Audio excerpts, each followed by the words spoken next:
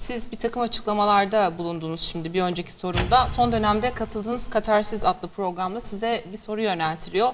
Siz şöyle söylüyorsunuz duygularınızla ilgili. Benim hissedebileceğim bir şey kalmadı. İstediğin duyguyu söyle, hissiyatı söyle, üzerine bir çarpı atarım. Dahası geçtiğimiz günlerde de Kıbrıs'ta sahne aldığınızda magazincilere yaptığınız bir açıklamada şöyle dediniz. Buradan kayıtlara geçsin diye söylüyorum. Avukatlarıma sözlü de ilettim. 40 milyon TL değerinde bir evim var. Ben vefat ettikten sonra kardeşlerim, bütün çalışanlarım ve orkestrama evin satışından hisse dağıtılmasını istiyorum. Bir bölümünü Mehmetçik Vakfı'na şehitlere dağıtılmasını istiyorum diyerek vasiyetinizi de açıkladınız. E, şimdi programda bir önceki soruda yaşamaktan e, keyif almıyorum, yaşamayı da sevmiyorum ifadesini kullandınız. E, vasiyet açıklamak insanın ilerleyen yaşlarında aslında e, yaptığı bir davranış modelidir. Nihayetinde soru gelsin. İntihara meyilli misiniz? Asla intihar etmem. İmkansız. Allah'ın verdiği canı Allah korusun. kendim kendim Allah alamam. korusun. Asla. Yani çoğu kişiye göre çok böyle inancı yüksek görünmeyebilirim ama özünde hepinizden daha inançlıyımdır. Yani eğer bir yarışma yapsak ortaya çıkar ki benim imanım birçok kişiden fazladır. Ama içinde bulunduğum hayat e, pop müzik dünyasına ait olduğu için daha böyle large, imansız görünebilirim. Vasiyet açıklamasına gelince ben sorulan her soruya cevap veriyorum. Saygısızlık hissediyorum vermezsem. Ve karşımdaki adamın soru düzeyi düşük de olsa yüksek de olsa en düşük soruya bile cevap veriyorum. Şöyle yapamıyorum, iyi akşamlar arkadaşlar diyemiyorum. O da vasiyetimi sordu. Demek ki benim öleceğimi düşündü. E ben de dürüstçe cevap verdim. Başka hiçbir şeyim kalmadı. Bir evim var. E evde işte kaç milyon ediyorsa. Benim için 30 sene uğraşan elemanlarım alsın. Kardeşlerim alsın. Zaten bir tanesi hasta. Öbürü fabrikanın başında. Onun çok ihtiyacı yok ama ufaklığa kalsın. Ailesine kalsın, işte yanımdakilere kalsın. Evde bana 30 sene bakan e, kadına kalsın. Yani ikinci annem. Ee, orkestram benim için çalıştı yıllarca. Onlara verilsin.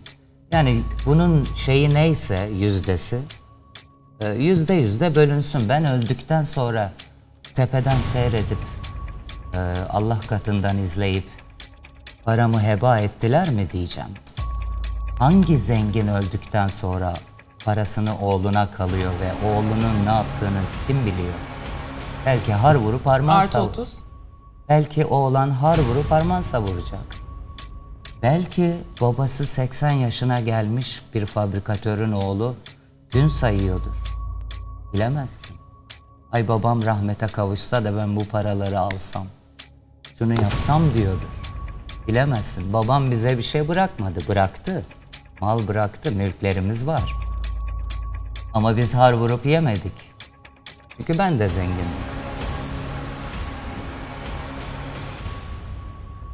Kumar meselesine de değindiniz. Kumar konusuyla devam edelim. Bugüne kadar kaybettiklerinizin bir listesi var mı kafanızda? Tabii kumar böyle maddi olarak çok şey kaybettirebildiği gibi manevi olarak da gerçekten hiç yatsınamayacak ciddi kayıplar yaşatır e, insana. Nihayetinde soru gelsin. Serdar Ortaç kumarda neleri kaybetti? Çok büyük paralar gitti. Çok mal mülk gitti. Yani kumar akşam uyursun dersin ki kalktığında ben ne yaptım? Her türlü kötü alışkanlıktan daha kötü. Benim hiç uyuşturucum falan olmadı. Yani resmini bile görmedim. Millet diyor ki bilsem ki uyuşturucu neyse o işte nasıl çekiliyorsa çekmeden nasıl yazıyorsun bu şarkıları diyor mesela. Ben daha resmini görmedim. Ya gördüm tabii Google'ladım ama yani kendisini bilmem. Yapan arkadaşların yanında durmam, kaçarım. Ee, içkim öyle çok alkolizm gibi bir içkim de yok. Hatta yeni başladım yavaş yavaş sahnede bir yudum almaya. Bir kumar oldu işte. O da para bitince zaten direktmen bitiyor. Yani artık oynayamayacağın paran yok. Para olsa tekrar azar mıyım? Sanmıyorum çünkü artık kusma geldi. Yani bakınca masasına yani mesela gidiyorum kasinolarda konsere. Hoşuma gidiyor insanları izlemek. Onlar kumar oynarken. O bile bana artık yetiyor. Onların yerine koyuyorum kendimi.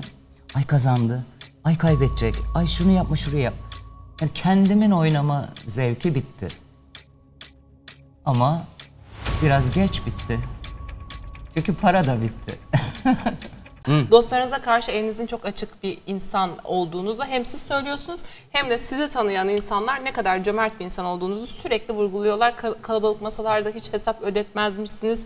Yeri geldiğinde borç verir misiniz? Verdiğiniz borçları geri almazmışsınız. Hatta bu hususla ilgili sizin bir ifadeniz var. Diyorsunuz ki dağıttığım paraları geri, e, geri toplasam bir daha hiç çalışmama gerek kalmazdı diye.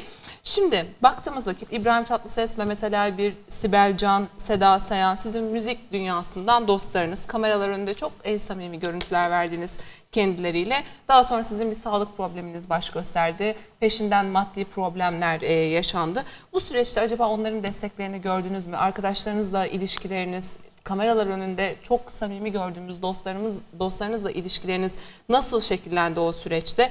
Kötü gününde Serdar Ortaç'ın yanında dostları var mıydı? Soru gelsin.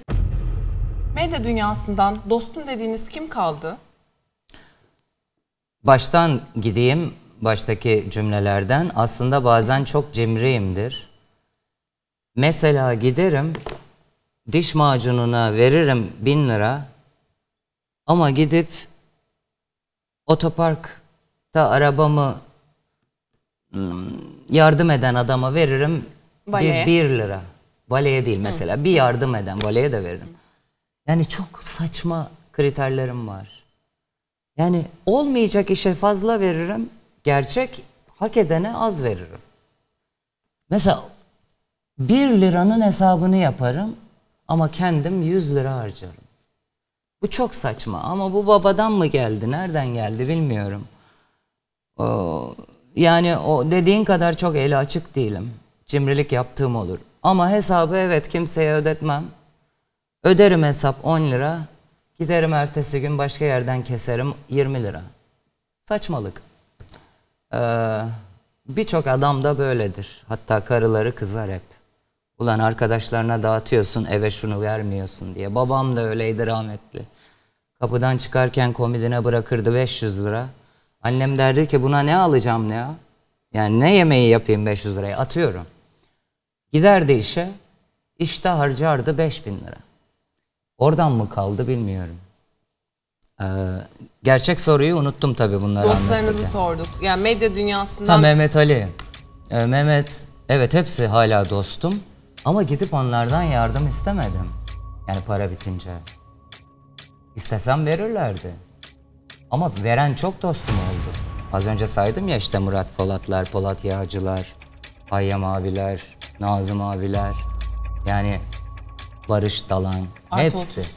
Çok çok yardım eden oldu. Yani bu borçları öyle kapattım. Ama ben şimdi yarın önümüz yaz. Üç tane, beş tane konser yapsam e, zaten çuvalda olacak. E, bütün borçları kapattığıma göre artık parayı tutacağım. Ya da şeytan tekrar içime girecek. Gene o kumar illetine bir girersem bittim zaten. aman girmesin. İşte bittim Ya zaten. yorum yapmıyorum format icabı ama girmesin. Lütfen rica ediyorum O yüzden girmesin. o yüzden ya elimi kolumu bağlayacaklar ya da e, ya sanmıyorum vallahi Artı artık 30. A- vallahi artık kusuyorum ya. Yani Kıbrıs'a gittiğimde inmiyorum aşağıya. İlk uçakla geri dönüyorum. Öyle yani.